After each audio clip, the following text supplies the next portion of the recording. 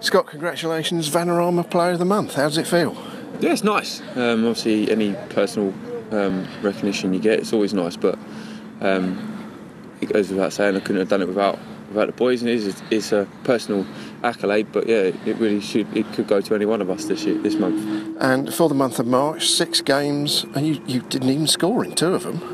Yeah, it's just the way it goes, really. I think I ended up with, I think it was five goals. I counted That's up. right. But um, yeah, like I say, you just need to keep going. It's it's, it's a it's a good month for us. We needed a big month, and um, I played my part in that, and it's uh, obviously showed. Yeah, it was a big month. Five wins, just the reverse against Grimsby.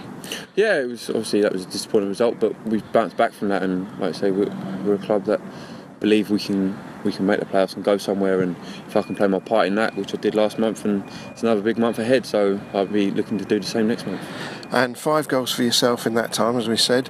The award is actually for the person who makes the best overall contribution to the team, not just about scoring all the goals. So it's uh, in recognition of everything you do up front. Yeah, no, no that's what I say. I'm very, very um, honoured to have this. Um, it's not, like you say, it's not just about goals. So um, I hope, hopefully, I, I like to think I bring a lot more to the team than just goals, and it's been recognised this month, which is uh, uh, very gratifying for me. And uh, when you joined us last year, we were in the bottom four. So I bet you didn't think then that 12 months later we'd be in with a chance of a playoff spot, perhaps. Um, not straight away, no. Um, but I think very quickly you could uh, probably tell from maybe November last year we had a very good started a very good run. Um, and the end of last year we finished it very positively. And a lot of boys went through the summer and they could have left, myself included, maybe like we could have all gone on to pastures new.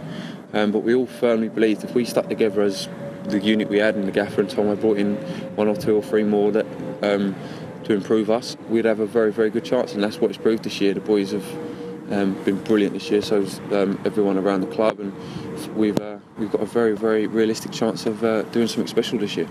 Lovely. Look forward to seeing you playing again on Saturday and keep scoring the goals. Cheers, mate. Well, Steve, as you know, Scott Rendell has won the Vanarama Player of the Month award for March. Just a few words from you, please, about his overall contribution to the team since he's been with us.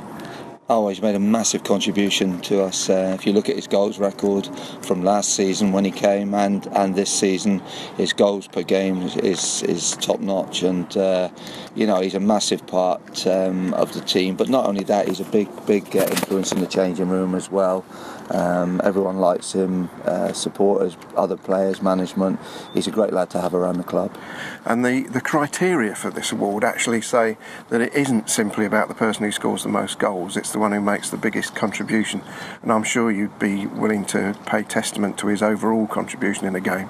Well, yeah, he's a, he's a, he's a great target man. He gives us that focal point to build attacks off. He brings people into play. His work rates, you know, t- very very good. So in all aspects, he's uh, he's a wonderful player to and person to have at the club.